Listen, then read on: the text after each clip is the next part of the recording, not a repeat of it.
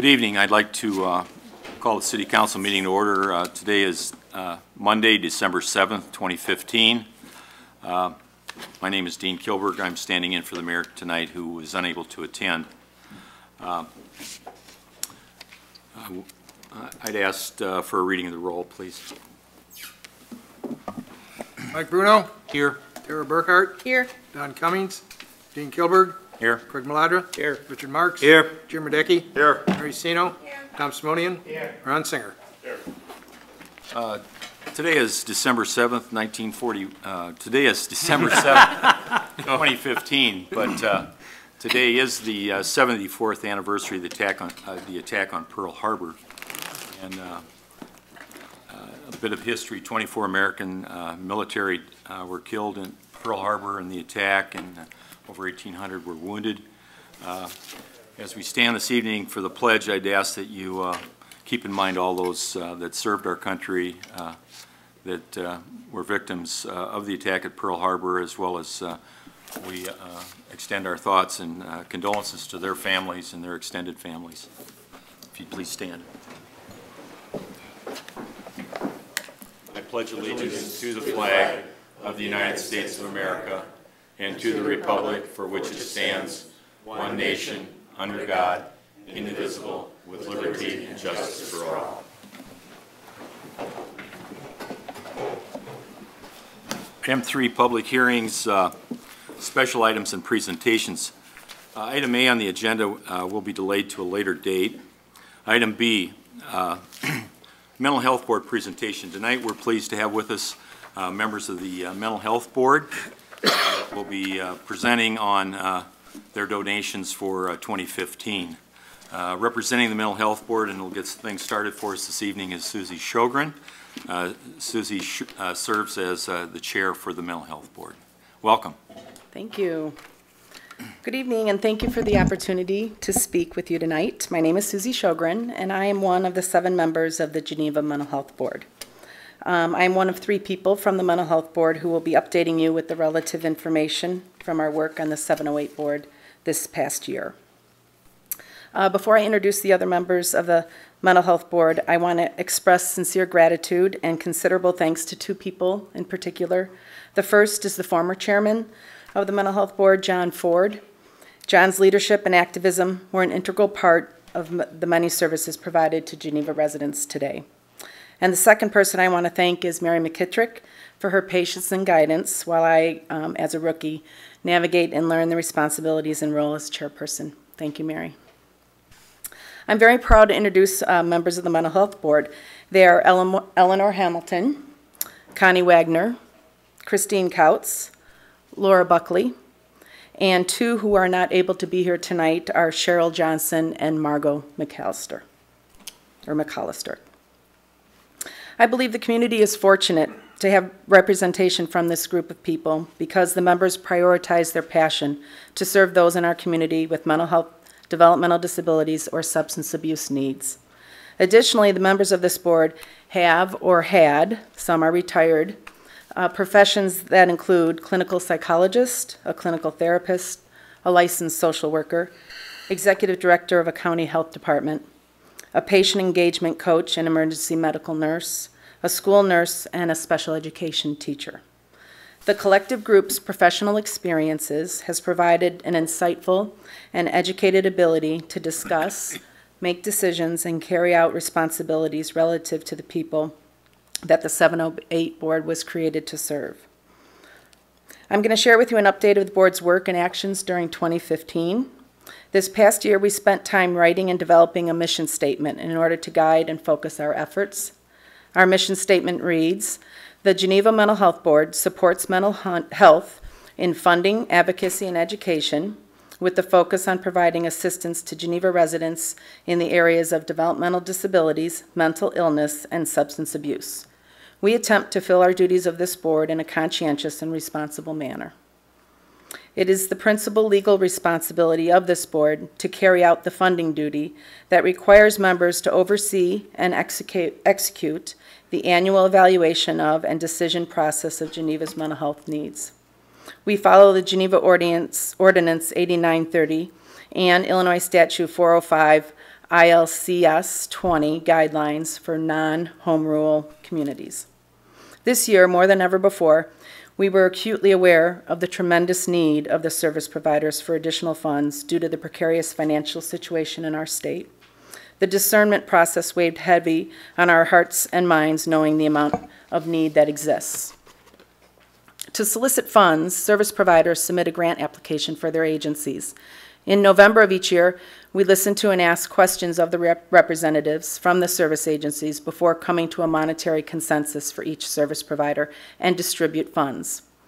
We made changes this year to the application to fulfill our fiscal responsibility by requesting data that seeks information regarding local needs, services to Geneva residents, and the effectiveness of the services provided.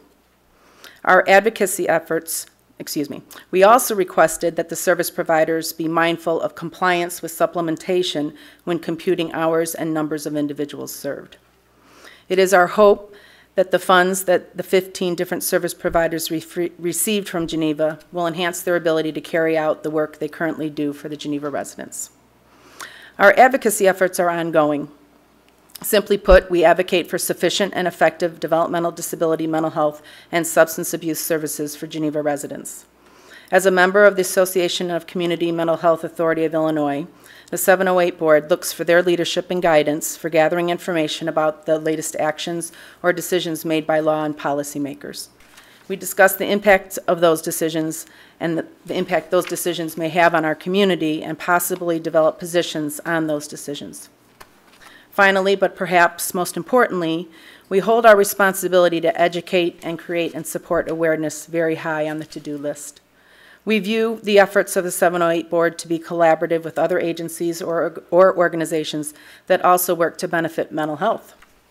For example, this past May, which is National Mental Health Month, the Geneva Public Library, Geneva Middle School North, and Geneva High School libraries worked with our 708 board to create an awareness campaign supporting the mantra of erase the stigma.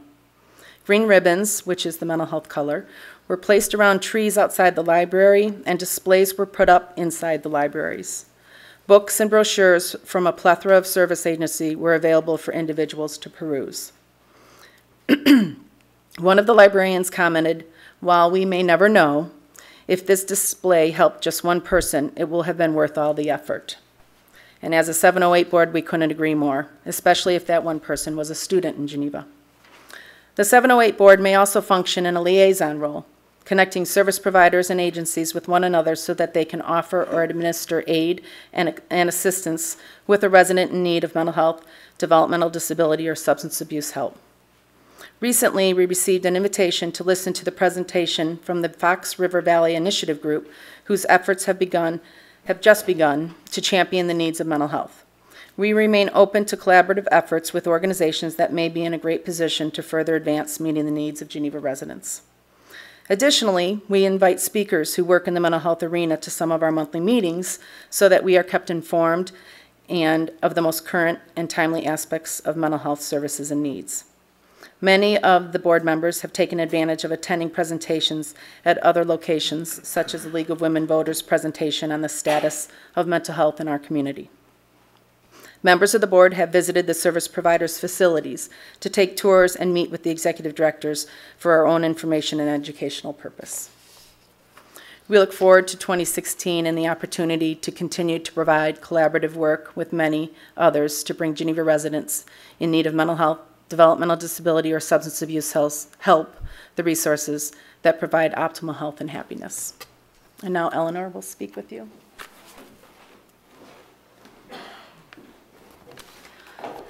Good evening. Uh, it's it's good to be here, and Susie has really summarized what our mental health board has been up to over the past years, uh, over the past year specifically. Um, there is an organization which Susie mentioned, the Association of Community Health Authorities in Illinois, and our board has been a member of uh, this organization for a long time. Most of the people who attend their quarterly meetings are full-time staff from large mental health boards such as county-wide mental health boards or county health departments. But for the first time, uh, I was able to uh, attend a meeting last week of this organization and was able to to bring back a lot of information, which we then kind of put together with what we know to be true and what we've learned in terms of being on the Mental Health Board. Uh, so what I wanted to do was to combine all of that information and talk to you uh, very briefly about an overview of mental health in Illinois in 2015, and I'm calling it The Good, the Bad, and the Ugly. Uh, I want to mention three people who gave presentations at this uh, meeting that I attended. Uh, Barbara Ever Edwards from Healthcare Management Associates, Dorelia Rivera from Blue Cross Blue Shield of Illinois, and Ed McManus from McManus Consulting. They were very knowledgeable and really filled in the perspectives that, that we all had from being on the mental health board and from our professional backgrounds. Now, I said I wanted to talk about the good, the bad, and the ugly, but I'm really an optimistic person, so I'm going to go in reverse order. And so here are some points, the ugly, the things that are real pain points in the landscape of mental health uh, in Illinois in 2015. Um, first of all, the state budget impasse has had a huge negative impact on local service providers. Uh, some have restricted services, and others may eventually go out of business. I won't belabor this because I know that you yourselves are struggling with, with these same issues. Um, the second uh, pain point in Illinois is the slow pace of Illinois in moving away from institutional care, specifically for the developmental disabilities population. Um, in general, the country has moved far, far away, and there is almost no one in institutional care. 14 states have no institutions whatsoever. Illinois is, is really an outlier here, and in fact, um, a U.S. appeals court judge not too long ago uh, described Illinois as being a, quote, laggard outlier, unquote, in terms of their movement away from institutional care and to community supports. Um, the slow pace of this change is hard to understand because we know that the cost of community supports is typically less than half the supports of having someone cared for in an institution. So this is a situation where there, there are reasons why some people don't want this to happen, but it's not a cost reason. Actually, best practice and cost are on the same side here. Okay, let's go on to the bad. And when I say the bad, I mean areas where there's difficulty, but, but we, we need to be aware of, of what's going on there. Um, in the transition to managed care, there's a lot of change. And so change is always hard, and it's hard for systems to, uh, to adjust to. So while there's a foundation of services under managed care that are included in both private insurance and public insurance, Medicare and Medicaid, uh, huge needs remain for 708 board funding. And kind of the landscape of what needs are being covered now under managed care and what needs remain for a 708 board such as ours is becoming more clear. The areas that are in great need of 708 board funding include things like information services systems of service providers, uh, supported housing, job training, case management, benefits navigation, and transportation. These are all areas that are necessary uh, for the support of the populations that we're, we're here to serve, uh, and they're all areas that, that are not specifically supported under the managed care model. One of the things that uh, we know in general in, in, the health area, and we're also learning that it's true in the mental health area, is that only 20% of health outcomes are determined by clinical care. Actually, what happens when someone sees the professional service providers. Other factors account for the other 80% in terms of health outcomes. So these services that I was just mentioning are really important because they're accounting for a lot of the end result in terms of uh, people's uh, length of life and also their quality of life. All right, that brings us to the good. I always like to talk about the good uh, uh most. Um, we're in the third year of implementation of the Affordable Care Act, and we know that the percentage of the population covered by both private insurance and Medicaid has increased significantly. So there are a lot more people covered, and a lot more people can go to seek help in the areas of mental health, developmental disabilities, substance abuse than previously just by using their insurance or one of the public uh, programs they're covered under.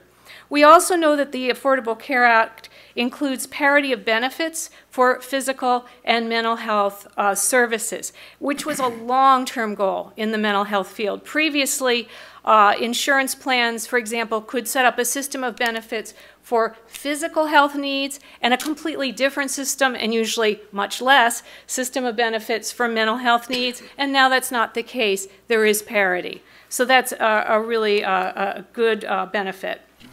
We also know that the focus in the field of mental health is shifting from health encounters to health outcomes. So it's not just that someone gets hooked up with a service provider. What's important is do they live longer? Do they have a better quality of life? That's what we're looking for. That's what uh, the focus is on throughout health and mental health at this time. To answer that kind of question, we need a lot of data to have that focus. And certainly, as Susie mentioned, our Mental Health Board has revised its funding application to reflect this focus. It's probably not the last revision in this area that we'll undertake.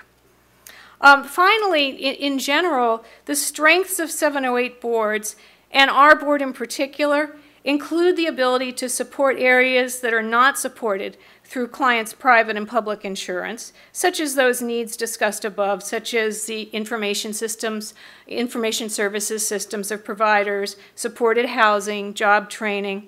Our knowledge of our local service providers and our ability to provide oversight based on the health outcome data that service providers are collecting is, is very good because we know these agencies and we have long-standing relationships with them. So we thank you for uh, uh, being able to continue to do this work and to provide these, uh, this, uh, these funds to the service providers. Thank you. Thank you. And, and now Christine Couts is going to uh, speak. Hello, I'm Christine Couts. Thank you for having us tonight.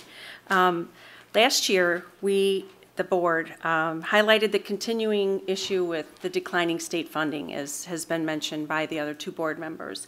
Um, as you know, this also continues to be a problem, and we don't see it getting any better. Um, in fact, it will probably get worse. Uh, the state is approximately right now about three to six months behind in their repayments um, to uh, the facilities that provide these services. And this lack of funding puts a significant strain on the local funding bodies such as the 708 boards. So we realize also that this is a strain on the city's budgets as well. And so the 708 board would like to graciously thank you for your continued support in keeping our funding steady um, for our residents. So thank you very much. An encouraging development has emerged at the county level um, that Susie mentioned was that Fox River Valley Initiative. This is a grassroots initiative of clergy, um, well, churches, agencies, and community members, um, a really smart group of people. We went and listened to them, a really smart group of people that are concerned about mental health, access, treatment, and also affordable housing um, for people living with mental illness. This group is working with the with judges, with the state's attorney's office, also with Sheriff Kramer's office, um, to provide what's called critical incident training. It's a special training where uh, police officers, law enforcement learn how to de-escalate those with mental health problems. There's a lot of special skill in dealing with that, um, and this critical incident training is quite, um, quite effective. So the goal of this is to keep the mentally ill out of the jails where we know, you know, individually as a person that doesn't really do a whole lot to help them get better. And it's a very inexpensive and ineffective way for taxpayers' dollars to, um, to house these, these people living with mental illness. So affordable housing for people with developmental delays, mental illness, and addictions continues to be a big issue in not just our community, but in every community. So lastly, our agencies are doing outstanding work, as Eleanor outlined. Um, we've got a lot of great, great stuff on the horizon. Um, and even though we, we fear the future financially, we certainly don't fear the future with our hope and diligence in serving this population and in our community. So we thank you again for your attention this evening and look forward to the continued work together with the people of Geneva. Thank you. Thank you. Um, there might be a few questions uh, or comments from the, uh, the alderman at this time. Uh, Suzie, maybe you might be prepared to field a few uh, questions? Maybe there won't be any questions. Uh, Yes, there is one. Um, If in regards, take the, uh, the mic, please. the critical incident training, I just, I knew you guys were coming tonight, and so I'd spoken to the social workers at the hospital and asked what could be done differently, and they mentioned what you spoke about, the critical incident training. They said that the county had sent some of the officers, and I wondered if we're looking at sending any of the Geneva officers for that. Because they said it ma- it makes a big difference. Um, I, I'm, don't personally know if they are or they aren't. Um, we learned mostly about that through the, um, meetings we attended with the Fox River Valley Initiative. Yeah, I was just hoping it'd be something maybe we could Yeah. start thinking about. too. Absolutely, Thank you. yes. We know it makes, makes a difference, absolutely. Any other questions? Um, First, I want to thank uh, our Mental Health Board. Uh, um, I appreciate your professional presentations this evening, all three of you. Uh, Really a lot of good information. It's very helpful to us as a, as a city council. Uh, Obviously, you're all very passionate about what you do, and your service to the community is certainly appreciated. Uh, You're all volunteers, we'll let the community know that, and that you're uh, representing the interests of all taxpayers, because these are taxpayer funds. And you work really independently of the city council on this. uh, And uh, again, thank you for your, uh, your fine work and your service on the 708, and uh, we'll look forward to seeing you again in tw- 2016. Uh, As a little bit of a summary, some people might uh, want to know uh, actually the level of funding involved here. Uh, You oversaw the distribution of $139,000 uh, to uh, approximately uh, about 15 organizations that serve the Fox Valley. Uh, Two of the larger uh, uh, charities or organizations that receive the benefits, uh, AID received 32,000 in funding as a result of your efforts. Ecker Center, uh, uh, about 32,000, these are rounded, but uh, those are two of the larger ones. Lazarus House, I'm sorry, Tri-City Family Services, about $27,000.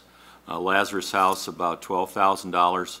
And then there are several others that are less than that. But again, that gives uh, the aldermen as well as the community uh, that would be watching tonight on TV a little bit of an idea of, uh, of those organizations that you're touching that are, uh, that serve uh, people here locally in Geneva. Uh, Mary? Uh, Mr. Chairman, I just wanted to add, too, if anyone wants to look at the exact numbers, uh, they're in the bill list. Um, You'll see that under charitable donations, so each one is listed individually alphabetically, so you can look at that as well. Okay, uh, yes, Jim? Alderman uh, Radecki? Hi, again, thanks for all of your work, and I, I do have a question about, um, what the, the board's position is. I know that, um, in years past, we've allocated funds for a group home, and it took several years to, to accumulate enough funds for that home to actually become a reality not too long ago. Uh, what's the, what's the board's current position with allocating funds for another group home, projections? I mean, I'd like to hear your thoughts on that. It's actually on our agenda for January and February. Um, Generally speaking, it's, uh, the group home model um, is, you know, um, one of the uh, options for developmental disability, mental health um, individuals. Uh, They are going away from the institutional setting. Um, And we have, um, with our 708 board funds, we have a uh, certificate of deposit that acts as a savings previously that was uh, what funded that group home in Geneva.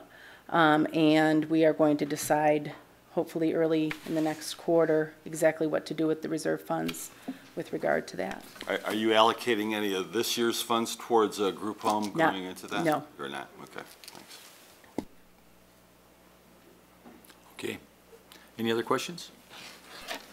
If not, again, thank you very much for coming tonight. And happy holidays to all of you. Thank you, thanks for having us.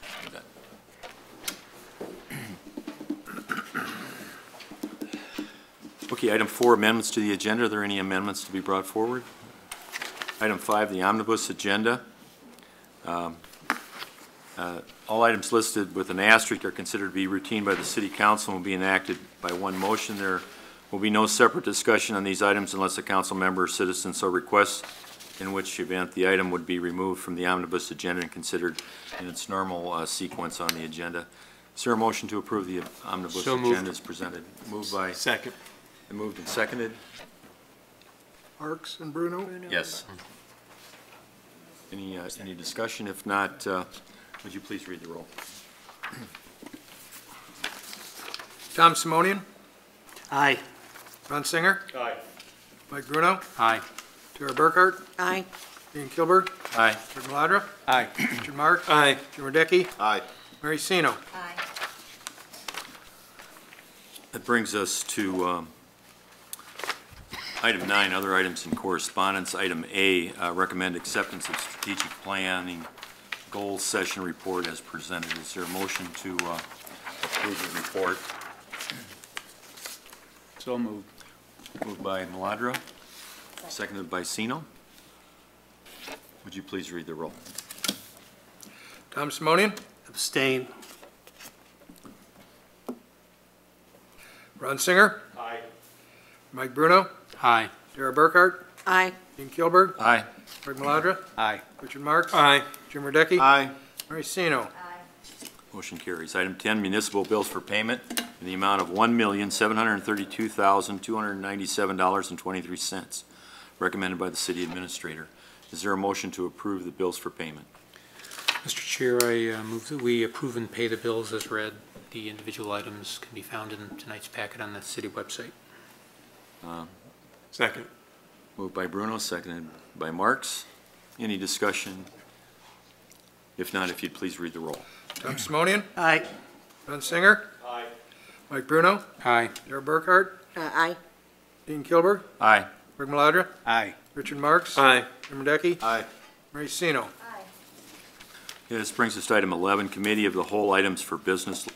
We have uh, one item left on that list uh, to attend to. Item A, uh, recommend resolution number 2015-113, authorizing purchase of Altec TA-50 bucket truck from Altec Industries in the amount of $199,557.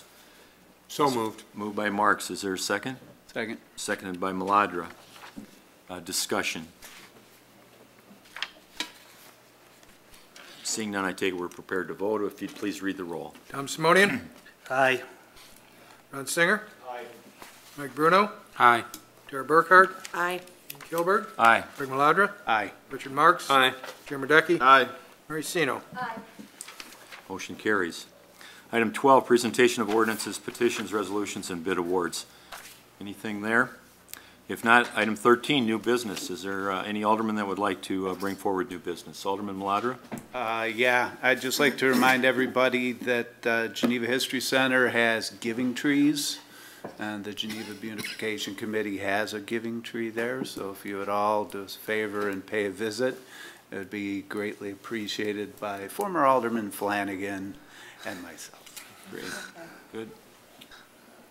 Uh, Yes, Alderman Bruno? Uh, I would like uh, to shout out to the Chamber for uh, a more than uh, spectacular uh, Christmas walk event. Um, It is what Geneva festivals aspire to be, and every town that knows us would love to have it. So, you know, thank you to the Chamber, and congratulations to everyone that had input. Great. Uh, Anyone else? Is there anyone in the audience, any, uh, anyone that would like to address the council this evening on, uh, during new business? Thank you for all your leadership. You all do an outstanding job. Say, you know what, why don't you come forward and introduce yourself, because we don't get too many of these. This is a giving season, isn't it? Uh, My name's Gary Gadzinski, and I live at 108 South Cambridge Drive in uh, Pepper Pike. But I've been here, I- I'm just a concerned citizen. I like to observe what's going on in my government. And, but all of you, I mean, all of you have been outstanding in terms of your leadership and the decisions that you make, and you're, I'm just impressed. Thank you for that service. Thank you very much. Obviously, it looks like you have some military in your background, it looks like. We thank you for your service as well. Thank you. Very good. Any other new business? We all feel good about that. Can he, can he come up and do that again? Can we put you on retainer? Okay, uh, no other new business. Uh, That brings us to item 14. Tonight, there's a need for a closed session on pending litigation, the purchase or lease of real property for the use of the public body, and collective negotiating matters between the public body and its employees or the representatives. Uh, Is there a motion to go into closed session? So moved. Second. Moved by uh, Simonian, I believe, uh, seconded by Marks. Uh, We'll need a roll call on that, if you'd please read the roll. Tom Simonian, Aye. Ron Singer. Aye. Mike Bruno, Aye. Tara Burghart, Aye. Dean Kilburg? Craig Maladra. yes. Yeah. Aye. Uh, Richard Marks. Aye. Jim Radecki. Aye. Mary Seno. Uh, We don't anticipate that there'll be any public, uh, there will be any action taken by the council this evening coming out of closed session. So again, those of you that have attended tonight, thank you very much, and uh, um, maybe we'll see you in 2016. We look forward to it. Thank you very much. Thank you. Thank you.